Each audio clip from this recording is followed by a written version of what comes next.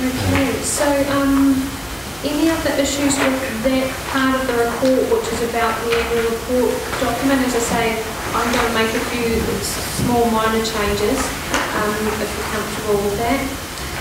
The other thing I wanted to highlight on page 52, um, the parking infringements, the, the numbers are in there, but I'm sorry, I didn't have in time the, um, what the infringements were for. One was for disability six were overtime, and I don't have the locations. So we wanting locations in future? Just, just the numbers on. Yeah. I think just keep, gives us no of the sightings. It's happening. Yeah. And, So Sharon, is that the total parking infringements in Paterra? I mean, in, the district in the district? issued for that month.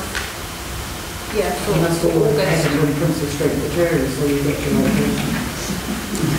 Yeah, I'm not sure. I'm sure there should be more than that, shouldn't? It's, it's through you, Mr Chair, it's a, it's a resource issue as well. Um, Councillor East, in terms of the people we got in animal control do these for us. Oh, I see the animal control guy in, in Princess Street, and he's giving out tickets, that's one of the shoes he's just saying, all people see Paterra. I see seven get issued. Yes, uh, he's got a a favourite spot in Princess Street, and he's taking them up all the time. Through you, Mr Chairman, I'd I'd actually, That's why I see this- rescind what I said just a minute ago and say, Yeah. it probably would be good, Yeah. probably would be good to have the locations there. Yes, right. We'll make sure that happens. Right, uh, so on, um, on page fifty-six, uh, just wanted to highlight that the Waikato. Oh, Sorry, no, sorry, you can't. sorry, sorry. Before you jump ahead, just page 55, and it's got all those um, figures here, for registered dogs and um, disqualified owners and bits and pieces. The only query I've got is the total number of complaints received has jumped up 500, but the infringement notices have gone up one. It doesn't seem to equate, it should be more, it should be relevant, I would have thought. Um, not necessarily, so the complaints are, I asked a specific question, um, complaint category two, one four seven six is moved to two one eight one, I says, well, that's a big, that's a big difference, um, you know, why are we getting more barking and roaming complaints? Um, and I discussed whether there was a trend or whether we could justify or clarify why that's happened with, um, Mrs. Beckett. And, uh, no, you know, sometimes it's, there's, there's no clear reason of why that might be happening. I, I made, made the assumptions that we're getting better reporting from the community about roaming dogs now. Um, I don't know whether dogs are barking more often because, you know, our numbers of dogs in our urban environment hasn't changed significantly, so I put that down to better reporting.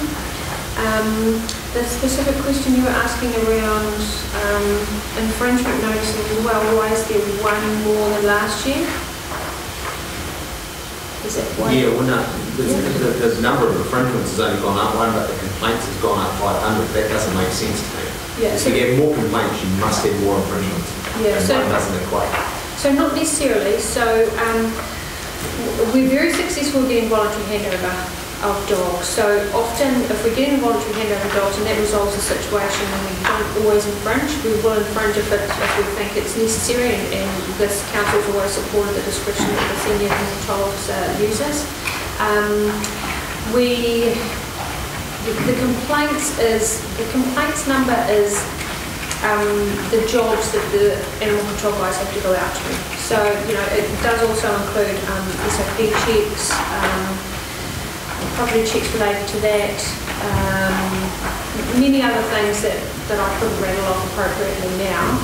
Um, but I will ask the question.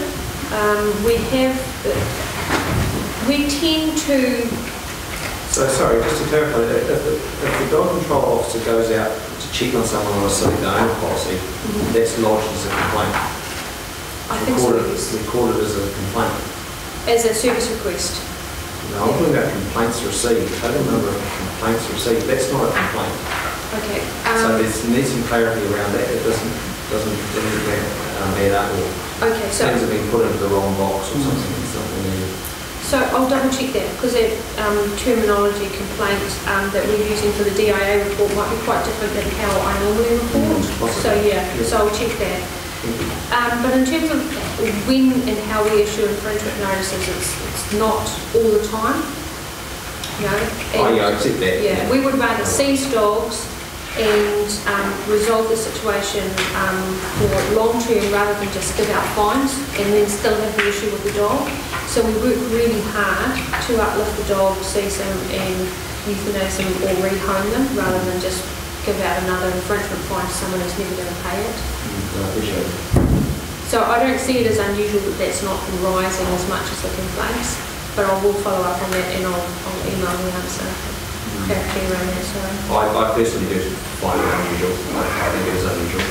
Um, but it might be very well, I think, being recorded against that, that aren't really a complaint, and that's, and that's fine. But I think we just clarify that, that's correct. I will do. Councillor Val. Uh, That first column, um, Sharon, as at 30th of um, June 2015, does that mean from the 1st of July 2014 to 2015, or is that ones that are already in the system as, as, as of 2015, 30th of June? Are you talking about a particular line?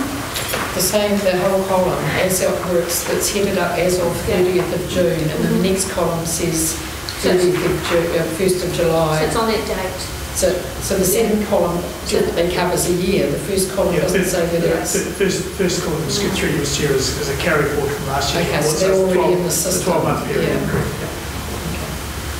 So, That just might make a difference because we're not comparing a year's worth with a year's Yeah. worth, are we? So- comparing them. yes, and this isn't a format that's required by DIA, so I think what I'm saying is we were comparing the first column to the second as if they were both for a year, you know, so- and, and they're not, they're not Yeah. both. So for a my understanding is it's as of the end of the year, that is, that is the end result, that it's it's a tally. It's not a, the ins and outs that have happened throughout the year, so obviously we would have dogs go and dogs come, and So that number would fluctuate every week. So the two columns are different things, aren't No, no, you're looking at a 12 month window in both cases. Okay, So- so, so so you're looking- you're the looking at column 12 month should say, window. okay, The 12 month window to the 30th of June 2015, from Okay, the so- from the 1st of July 2014. okay, so what, that should be headed first of July 2014, and the same as the next column is headed then, that's, We could do this, that- yes. And I did Yeah. have plans to have Mrs Beckett here for this report, and uh, I apologise that she didn't. So, that's my fault. Um, so on page So- 56. Sorry, but can I through you. Chair, if I may, just, um, and I know we've talked about this many times um, around animal control, and and it does come back to uh, Mr. Robinson's point about the, um, I guess, the negotiated handovers and things like that. We are very, very fortunate in the way that our animal control works, and they do a fantastic job because it not only mitigates infringement notices and costs on, on dog owners, it also keeps us out of the courts quite often as well, and that's a, that's a huge boon to, uh, to council. So I just wanted to make that point, I think we are very fortunate.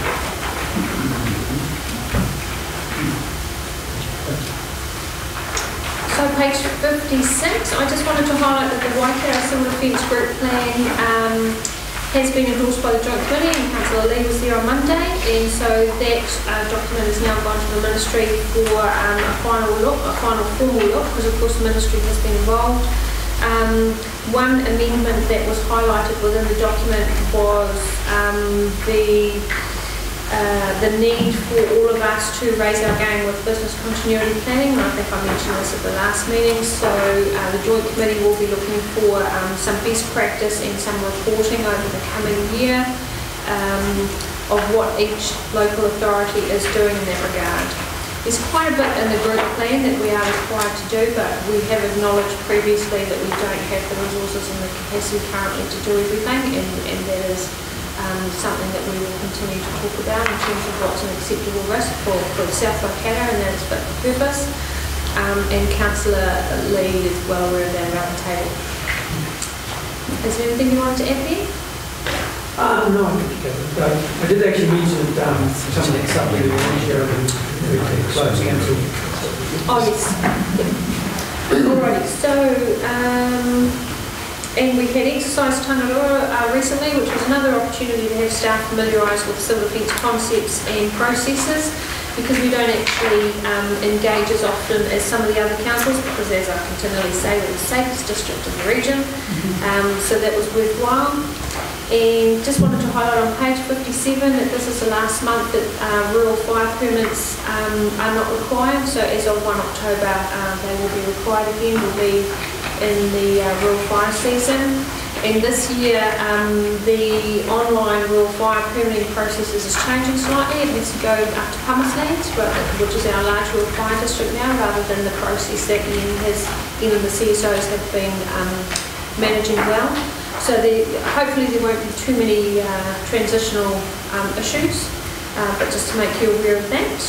So who would we contact uh, uh to get in? 5.30? Uh, so if you're doing it verbally, same way, over the counter, um, but for those that use the email system and do it online, um, you'd still use the same system. Um, our IT people are just trying to link those up at the moment. Um, and any questions, still contact Ian, but it will just, it'll come out on Pumicelands' um, uh, framework mm. letterhead rather than South Waikato District Council because we're part of the larger district now. And who knows where we'll be next year. I hope it's just as efficient as it was when district council oh, come through. Unlikely. Because I mean, last year, I applied for a permit over the phone, and the next day, Mr Williams was, I I don't think he knew it was, no, because I was a councillor. Anyway, he was there and issued a permit virtually on the spot. And I thought, that's bloody sir. And it's, we provide a very high level of service and the education that we provide to the farmers about how best to Yeah. burn and I think that's why we haven't spent um, our firefighting budget this year because um, I think that education is working. But no, we can't make you that promise. Councillor Sack. You just made the point, so we haven't spent our firefighting budget this year. Is that, um, is that this current year? Yes, it was reported on in previous reports under Ben. Yes, the It was right. noted. the 15, 16 year, not 15, 16, yeah. 17. Yeah, yeah. So what happened to that money?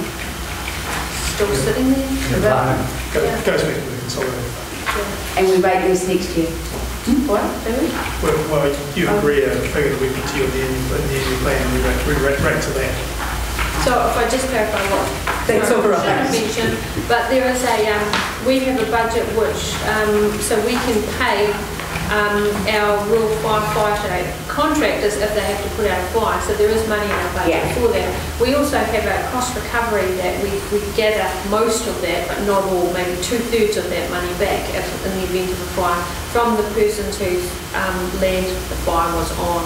And both of those budgets have really been touched, and that was reported in Ben's report.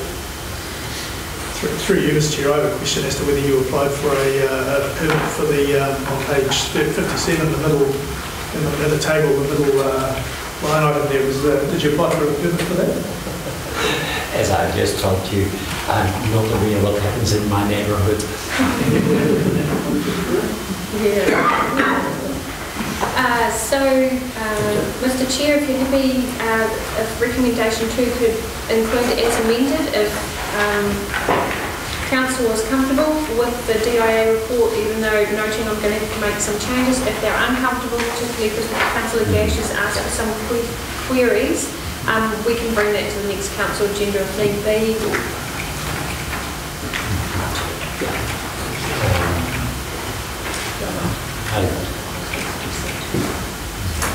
Okay, I'll put, Yes, you we could, um, if you wanted to, because we need to get that reported, we could share that with you via email through, uh, via email. okay.